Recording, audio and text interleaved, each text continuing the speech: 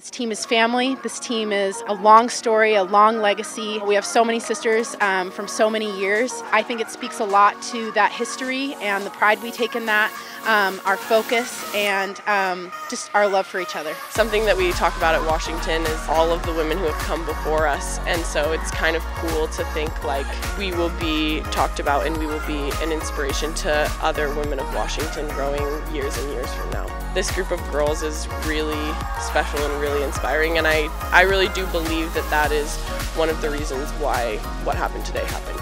From the very first race this year, we were able to show that we were a contender. The changes that we made uh, between the Cal duel and the Pac-12 championships uh, helped elevate the team another notch, and then it's a whole new level to the NCAAs. And uh, everybody on the team really embraced each step of it. And you know what? I mean, those those women were hungry, you know, and I think that's a big part of it.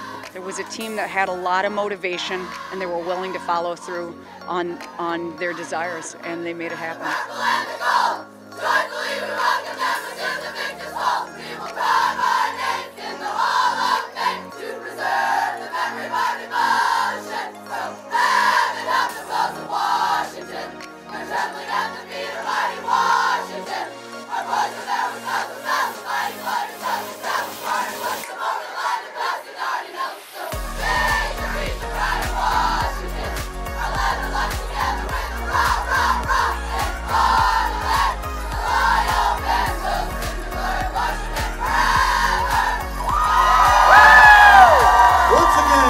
Congratulations to our national champion, Washington.